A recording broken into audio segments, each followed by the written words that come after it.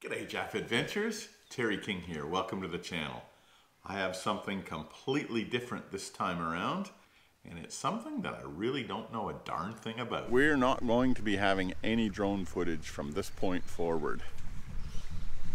I turned drone on this morning and a little puff of smoke came out of the gimbal and it went and fried. So unfortunately we have one dead drone. No more aerial shots from this point forward.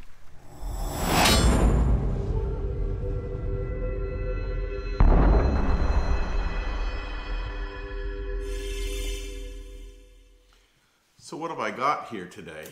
This is my Mavic Pro drone. And when I was up in Cape York on our last big trip, I blew it up.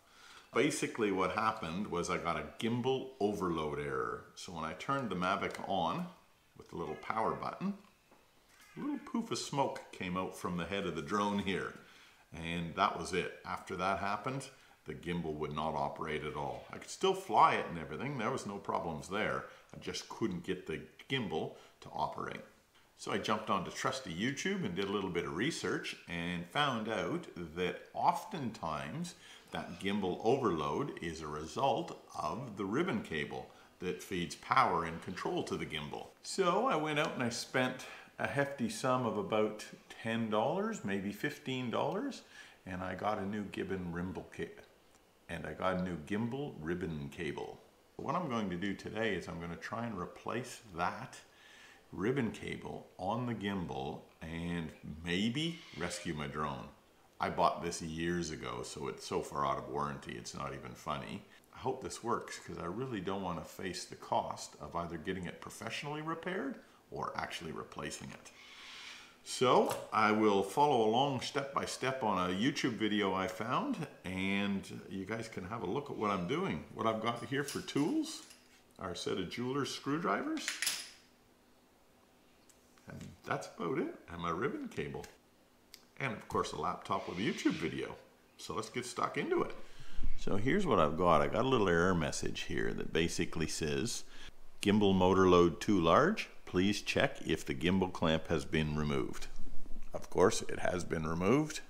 There it is. Now, normally, when you move your drone back and forth, that gimbal moves with it. And mine is just sitting there like a limp you know what. So, step one, pull the battery out. Step two, pull these little screws out of here that hold this case on. And there's error number one. I've been using a Phillips head screwdriver and those little suckers are Allen keys. So I hope I've got an Allen key that small. I did find an Allen key that fit. Boy, oh boy, this is tiny, tiny workings. Have a look at that.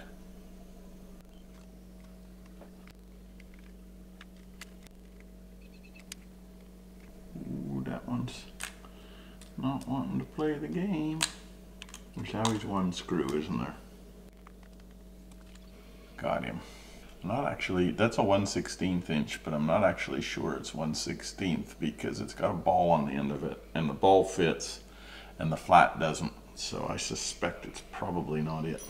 So I pulled six screws out, two in the back and four in the battery compartment. Now we flip her over and these panels here need to come off. Same thing.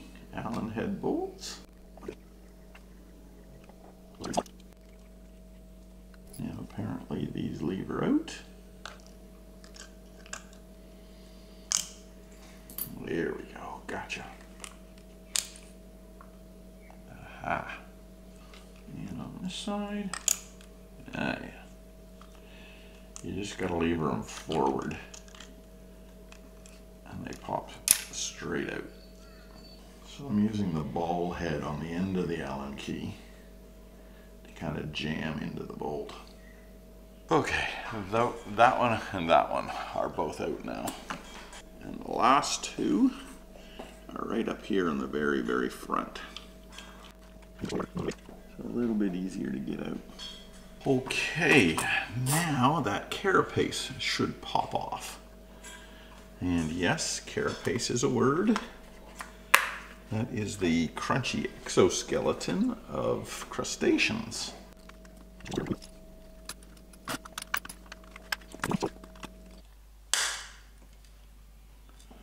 That's it. We got it. Now it looks like there's a little ribbon connector here on the back that sort of pulled out when I pulled the case off. So I better make sure that I get that back in there again. There's something inside of there. This isn't part of the process, but I'm just going to pull these two screws out and see what's rattling around in there.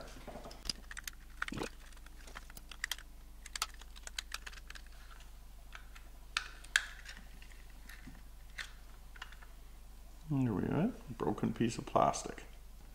And who knows where that's come from. Anyway, it's not rattling around in there anymore. Okay, Mr. YouTube says next, remove that screw and that screw. Done. All right, and then this center screw here, which is attached to that. Okay, the next screws are there and there. Okay, got them out. Okay, now we've got to remove this little black plug here, black and white plug here. And that's that one. Now these two ribbon cables have to come off at the back as well.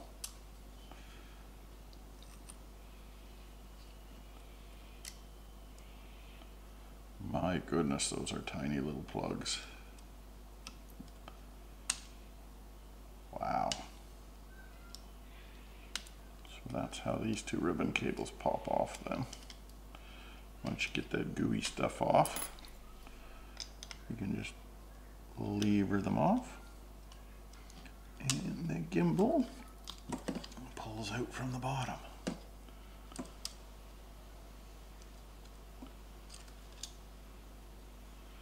Whew. All right, there's our gimbal. Okay, now I gotta start removing screws, tiny, tiny screws. This ribbon cable starts there. So I guess we pop him off here. Yep, that's the way. Oh yeah, I can see it. I can see the damage to the ribbon cable already. Well, that's exciting. That means me we might have a potential fix here. That is the melted bit right there. That's all charcoaly, and that's where my puff of smoke would have come out from. All right, to get that cable out though, these little elastic bands that stabilize the gimbal in flight, they need to come off.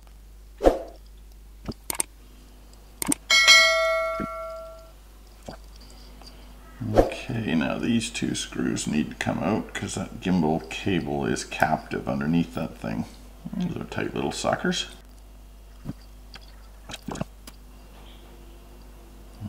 Okay. There's little sticky pads here that have to be peeled off. There's one.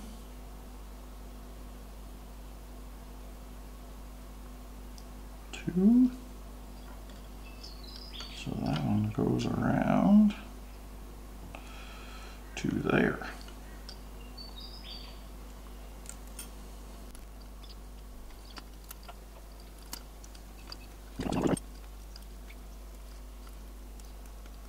That's good, you can feel it when it clicks in.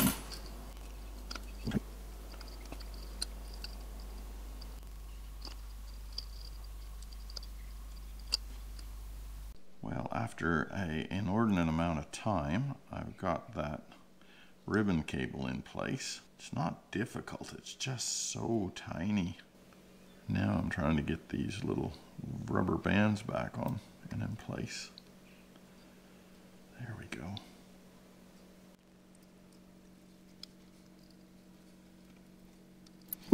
Okay, now last but not least, this cable lays over the top and plugs right in there. Doesn't feel like that gimbal's binding at all. Let's put these plates back on. Now that gimbal is completely assembled again with all of its covers. One of my covers, this one here, is actually broken. So it's been broken for quite some time. So not much I can do about that, but that is what it is. It seems like the gimbal travels freely in all directions. I guess we'll see when I hook it up. But we're ready to install that gimbal back into the Mavic. In terms of the original ribbon, there's the area that's been burnt right there. You can actually see it. And on this side as well. It's gone crispy. Pop our gimbal back in place.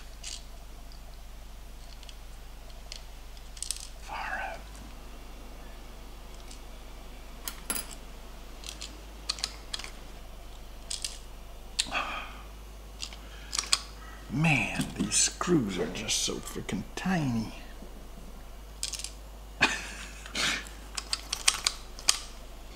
okay, third time lucky. Nope, not so lucky. Ah, got it. Okay. Now these two sensor cables.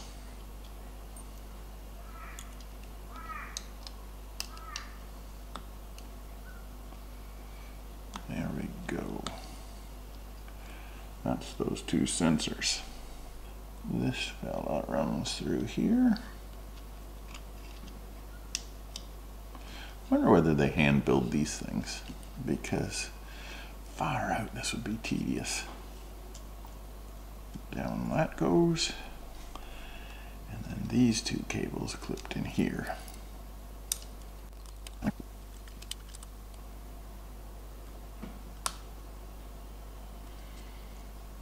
that one there. Now I'll put these two front screws on the gimbal.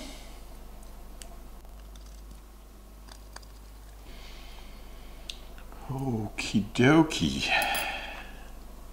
I think we're ready for a test drive.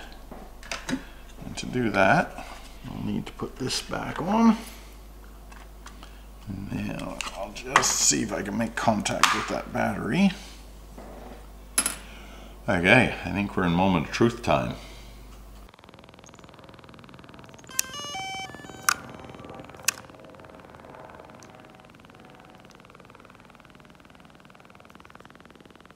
Okay, that error message is gone in the corner. And if we look at our gimbal, and I try to control the gimbal up and down,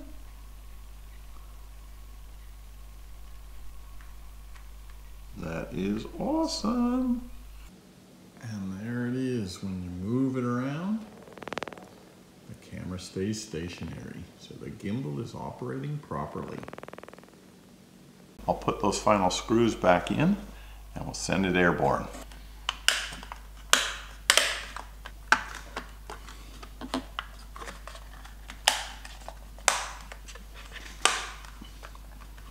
Everything just kind of clips down, I guess. Okay, now we pop in all these Allen head bolts.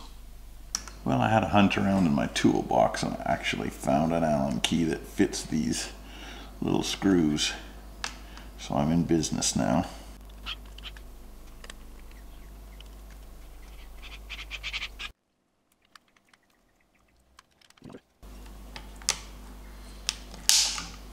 She's all back together. Pop our battery in. Let's go take them for a fly and see what we got. Gimbal down, gimbal up. A little bit of left, a little bit of right.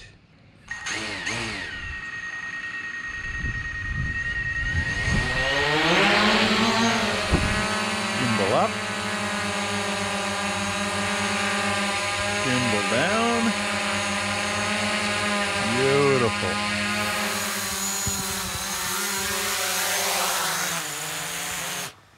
Well, that's it. I've got a working drone again. That's fantastic. And what did it cost me? $15.89. So what's the moral of the story here? Give anything a crack. You never know what the outcome will be unless you give it a go.